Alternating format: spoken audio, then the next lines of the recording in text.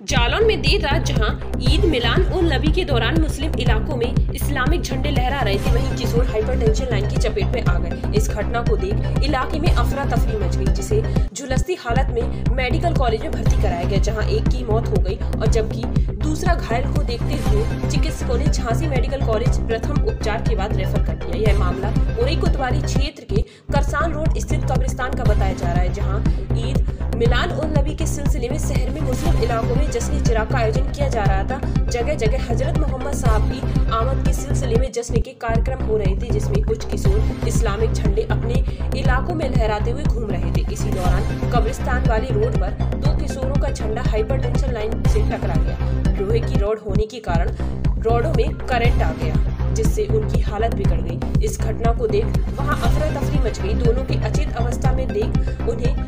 इलाज के लिए उरई मेडिकल कॉलेज में भर्ती कराया गया, जिसमें एक की हालत खराब होने की वजह से उसकी मौके पर ही मौत हो गई, जबकि दूसरे की हालत नाजुक होने से चिकित्सकों ने प्रथम उपचार के लिए मेडिकल कॉलेज झांसी रेफर कर दिया। वहीं इस घटना की जानकारी के बाद पुलिस भी घटना स्थल पर पहुंचकर जाँच में जुटी हुई है। जालौन से नवीन कुशवाहा के साथ आवेश कुमार की रिपोर्ट।